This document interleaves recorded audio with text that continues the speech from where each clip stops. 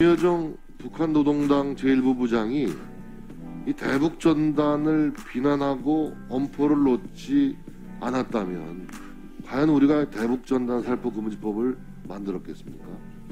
김여정이가 한마디도 안 하고 으름장도 놓은 바가 없는데 우리가 알아서 이걸 갖다 만들었을까요? 명백한 김여정 하명법이에요.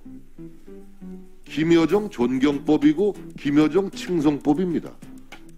대한민국 국회의원이 대한민국 국민들의 대표가 이런 법을 무리수를 둬가면서 처리해야 되겠어요.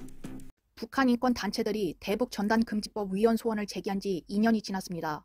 그러나 헌법재판소로부터 아무런 답변을 받지 못하고 있는데요. 이에 단체들이 직접 나서서 항의했습니다. 지난 10일 사단법인 북한 인권, 한반도 인권과 통일을 위한 변호사 모임, 올바른 북한 인권법을 위한 시민 모임 등은 서울 종로구 헌법재판소 앞에서 대북전단 금지법 위헌 확인 결정을 촉구하는 의견서를 헌재에 제출했습니다.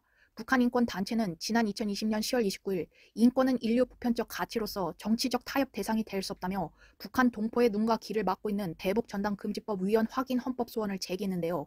이후 2021년 1월 12일 대북 전단 금지법은 심판에 회부됐습니다. 그로부터 2년이 지난 지금 인권 단체는 헌재로부터 아무런 결정을 통보받지 못하고 있는데요. 그동안 단체는 조속한 결정을 내려달라고 두 차례 촉구했습니다.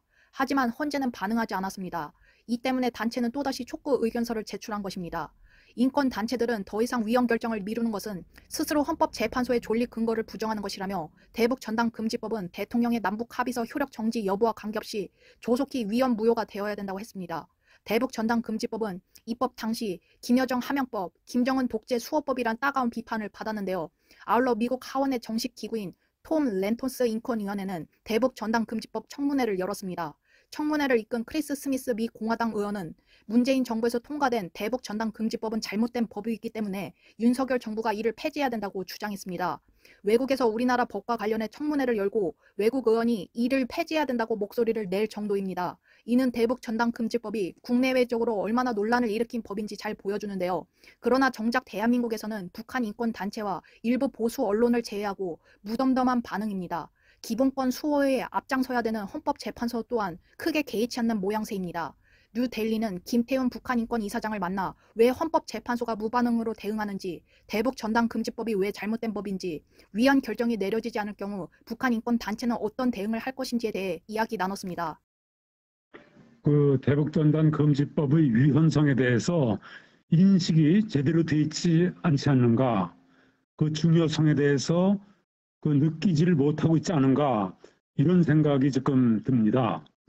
그런 걱정이 들어요. 이게 얼마나 이 폐해가 크다는 것인지 그 절박감에 대해서 우리 재판관들께서 아직도 인식이 부족한 게 아닌가 그런 걱정이 듭니다.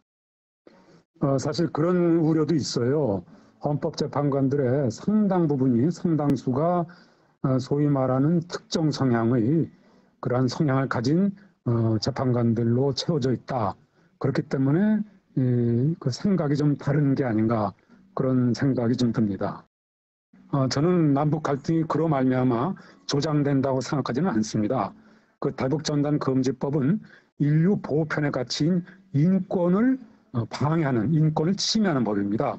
그래서 그 법이 대북 전단 금지법이 제거됨으로써 오히려 정상적인 상식적인 이러한 인권이 회복되는 것이고 그 인권 회복된 것에 대해서 북한이 그것을 핑계 삼아서 뭐 빌미를 삼는다든지 트집 잡을 수는 없다고 저는 생각하기 때문에 남북 관계의 마찰이 저는 그렇게 생각 마찰이 일어나지 않는다. 마찰이 이렇게 크지 않다. 저는 그렇게 생각하고 있습니다. 예, 그 박상학 대표도 어, 대북전단 활동을 많이 하신 걸로 알고 있는데 그 박상학 대표의 대북전단 활동이 어, 과연 그 통상적인 어, 정상적인 대북전단 활동이냐에 대해서 통일부가 아마 판단을 틀리하신 것 같아요. 그래서 그 사안은 그 박상학 대표와 통일부와의 지금 행정법원에서 행정소송 중입니다. 그래서 그 행정 소송에서 그 소송 결과를 잘 검토를 해봐야 된다. 저는 그렇게 생각을 하고 있습니다. 예, 이번에 저희가 낸 그 헌법소원 사건에서 통일부 장관이 이 대북전단 금지법이 위헌이라고 과잉금지 원칙이라든지 재형법정주의를 위반했다고 아주 명료하게 저희 주장과 아주 일치하는 의견서를 냈습니다. 그래서 그 점은 저희가 아주 평가를 하고 있습니다. 아, 그리고 한편으로는 이 자리를 들어서 이 통일부에서는 이 대북전단 금지법이 위헌이라는 이번에 낸 의견서 입장을 계속 일관되게 진정성 있게 에, 에, 유지해 주셔서 앞으로도 이 북한 주민들의 알 권리를 신장시키기 위해서 북한 인권단체들이 보내는 대북전단이나 USB나 라디오에 대해서 이것을 오히려 격려를 해주지 못할 망정 방해하거나 이러한 일은 안 해줄 것을 저는 어, 이 당부드린 바입니다. 저희가 2020년 12월 29일 헌법소원을 냈습니다. 그렇게 하고 그 사건이 2021년 1월 12일 본회의에 회부가 됐거든요. 그럼 그로부터 벌써 2년이 훨씬 넘었습니다. 그래서 저는 오늘 이 자리를 들어서 이 지연된 정의는 정의가 아니다라는 법원도 있지 않습니까? Justice delayed, justice denied라고 돼 있어요. 그러니까 지연된 정의는 있으나 마나한 정의가 됩니다. 그러니까 하루속히 이 대북전단 금지법이 위헌이라는 결정을 내려줄 것을 이 자리를 들어서 다시 한번 촉구합니다. 네, 2014년 10월 14일부터 매주 화요일 화요 집회를 해왔어요. 북한 인권법, 북한 인권 개선을 위해서 모든 국민들에게 알리는 화요 집회를 해왔는데 오는 2월 28일 화요일이 200차 화요 집회가 됩니다. 이 200차 화요 집회를 뉴욕 유엔 본부 앞에서 합니다. 북한 대표부 앞에서 그 맨하탄에 있어요. 거기에서 모든 사람들의 세계를 상대로 화요 집회를 합니다. 이 자리에서 북한 인권 개선을 촉구하고 이 자리에서 대북 전단 금지법의 부당성에 대해서 세계 언론에 알릴 것입니다. 만약에 이 대북 전단 금지법에 대해서 이것이 잘못됐다는 헌법재판소의 결정이 나지 않는다면 그것을 빨리 촉구하도록 세계 양심에 세계 모든 세계 주민들에게 호소할 예정입니다. 이 부당성에 대해서 대북전단 금지법의 부당성에 있어서 알리고 헌법재판소에서 만약에 그와 같이 하지 않는다면 그 부당성에 대해서도 저희가 알릴 예정입니다.